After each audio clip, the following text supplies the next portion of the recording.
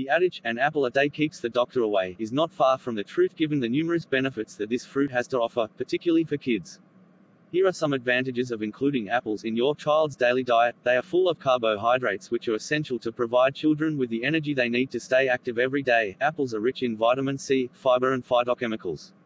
Apples contain dietary fiber that is helpful in reducing levels of bad cholesterol. The antioxidants and phytonutrients found in this fruit are good for vision and help combat symptoms of asthma. Pectin is a soluble fiber found in apples that can help control diarrhea while promoting digestion and preventing constipation. Apples can balance sugar levels in the body and are good for keeping away diabetes. The vitamin C in apples helps in tissue repair and the making of collagen.